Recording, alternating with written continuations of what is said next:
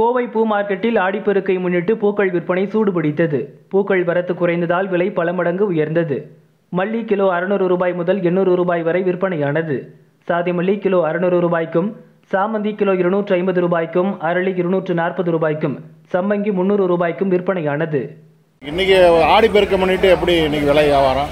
ஆடி பெருக்கு வந்து பரவாயில்லைங்க. போல ஒரு மூணு நாளாவே தொடர்ந்து வியாபாரம் ஆகிட்டு இருக்கு. இந்த ஆடி தவுசு வந்துச்சு. மல்லி என்ன ரேட்டு போயிட்டு பௌர்ணமி வந்துச்சு.